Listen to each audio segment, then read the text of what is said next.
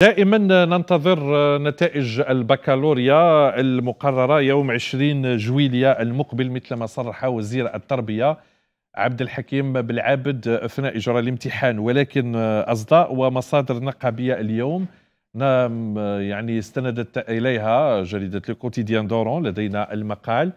أه تقول هذا هو المقال يقول بأنه ممكن جدا أن تكون آه، البكالوريا بعد انتهاء عملية التصحيح الرابع والنتائج كما قلت في المرة السابقة في عدد سابق بأنها نتائج مرضية إلى حد كبير. هنالك آه، شبه رضا من طرف الأساتذة المصححين الشعب العلمية والتقنية آه، تحديدا أنه ممكن النتائج تصدر قبل 20 جويليا يعني حتى البعض يتحدث عن 16 جويليا 16 جويليا فهذا نقدم هذا يعني المعلومة بتحفظ ونسبة إلى المصادر النقابية التي آه، آه، أوردتها في آه، جريدة الكوتيديان دورون فالبعض يتحدث أيضا عن نتائج كما قلت جيدة حتى الآن بعد انتهاء العملية عملية التصحيح حتى الرابع.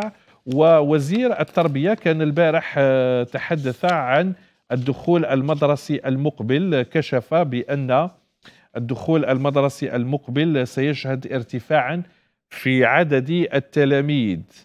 آه، المتمدرسين سيصل إلى أزيد من 11 مليون تلميذ.